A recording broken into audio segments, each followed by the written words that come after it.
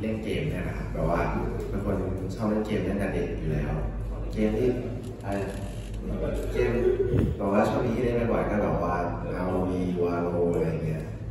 เพราะว่าเอาวีก็เล่นใครเครียดวาโลอาจจะเล่นแล้วตึงเครียดนิดนึงแต่ว่าเล่นวาโลแล้วแบบว่ามันก็มีข้อดีอยู่แบบว่า มันก็จะมีการสื่อสารภายในทีมถูกไหมแล้วบอกว่าคือเราไม่ได้เล่นกับแค่ในคนไท